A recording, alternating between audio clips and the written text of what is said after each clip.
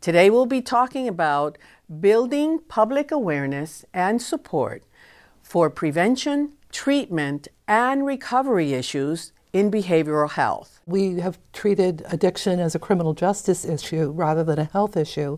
And what's really exciting about health reform is it changes the conversation and it changes the message about the fact if you have a problem with alcohol and drugs or if you have a mental health condition, that there's a place that you can get help, not in the criminal justice system. So that remessaging changes how people think about themselves, but also how society thinks about people with addiction and with mental health conditions. These conditions impact every aspect of society. There's uh, no tier of society or no uh, part of society that's not affected. I think we have to just make sure that people see the, the connection and understand how treatment, prevention help uh, folks in some of these other areas. We need to be having a collaborative relationship with insurance companies, with healthcare companies, with all different programs because we, we need to begin to have America talk about addictions and mental health issues around the Thanksgiving table, just like they do